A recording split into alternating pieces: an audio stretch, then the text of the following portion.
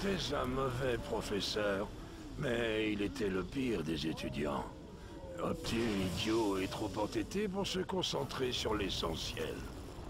Voilà pourquoi l'Ordre nous a réunis. Ils envoient leurs meilleurs éléments à prendre auprès de mages de guerre plus patients. Et je récupère les restes. La bonne blague. Ces jeunes gens talentueux sont morts ainsi que la plupart de leurs maîtres. Ils ont donné l'envie pour protéger les failles. Le monde reste condamné, bien sûr. Il ne reste désormais plus assez de mages de guerre. Mais ça me ferait bien rire que le dernier debout soit lui.